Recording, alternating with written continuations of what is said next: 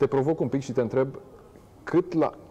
E o chestie așa estimativă, oricum stăm ca în cismigiu și discutăm, însă cât la sută din rigoarea pe care ți-ai exprimat-o mai devreme, domne, vreau asta, nu vreau influență, nu vreau, nu vreau, ai fi dispus totuși, pentru că una e să, să ai o, o imagine idealizată și alta e practica meseriei de Corect. antrenor.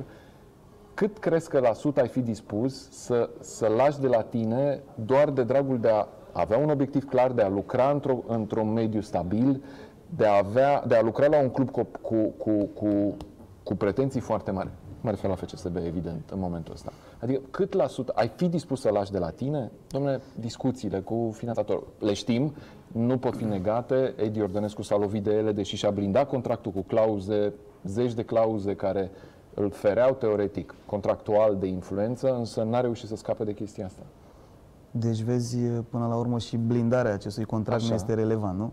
Adică nu, nu știu relevant, că, nu, poate, adică nu Dacă activa clauza de reziliere, da, putea nu fi siguranță. relevant. Da, da, ok, da. Da, siguranță, clar o nu. siguranță da. nu da. este, da, și nu mai este nimic sigur în fotbalul uh-huh. românesc uh, la noi. uh, Dar uh, aici e vorba despre altceva. E vorba că eu sunt alt gen. Așa. Uh, Mie îmi place să am colaborare cu toată lumea din Bun. club. Da?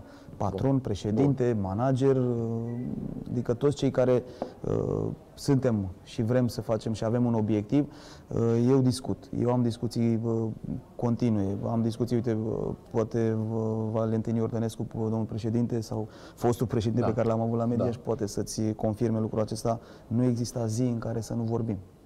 Bun. Nu exista zi. Adică eu stau de vorbă cu oricine. Uh, Fiecare, ascult părerea oricui, a patronului, a președintelui, fiecare normal are viziunea lui, Da. părerile lui.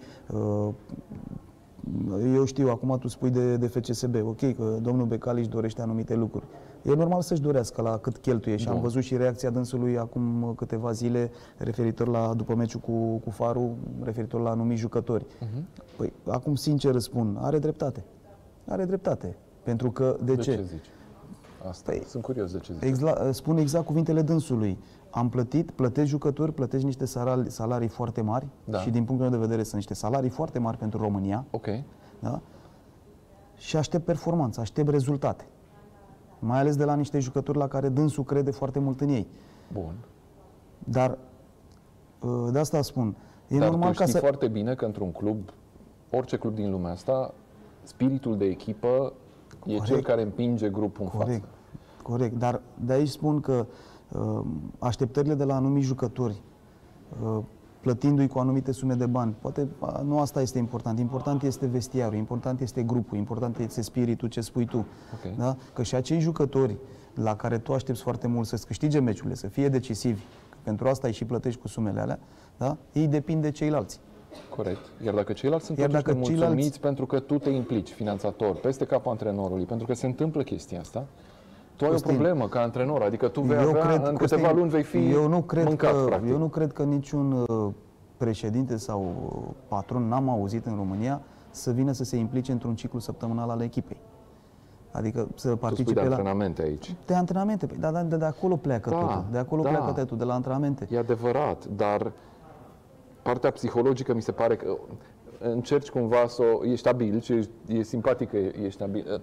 Partea psihologică sau care, care, care decurge, din, de exemplu, din schimbările care se fac. Jucătorii știu și ei că schimbările se Ok, fac. atunci mergi și discută. Da. Atunci mergi și discută în fiecare zi.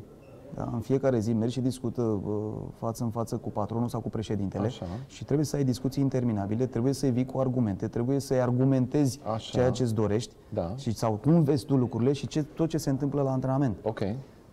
Și până la urmă trebuie să, să înțeleagă sau să-i ceri să, să, să te lase cel puțin să te lase să-i, să-i arăți, să-i demonstrezi Ok. că ceea ce spui tu și că ceea Ok. ce se întâmplă la antrenamente se va reflecta în teren. Și Vreau să- dacă lucrurile astea da. se vor întâmpla la meci, eu sunt sigur și sunt fer convins că orice conducător atunci o să zică, bă, frate, omul gata, știe ce face, știe ce trebuie să facă și hai să-l lăsăm în pace. Că până la urmă domnul Becali ce își dorește? Își dorește ca anumiți jucători să joace. Da. Da? Ce lot are FCSB-ul? Unul dintre cele mai bune loturi din România, da? Cu calitatea cea mai bună. Acum, că joacă Cordea, că joacă Valentin Gheorghe, că joacă Tavi Popescu sau că joacă bă, oricare altul, sunt la același nivel, la fel de bun.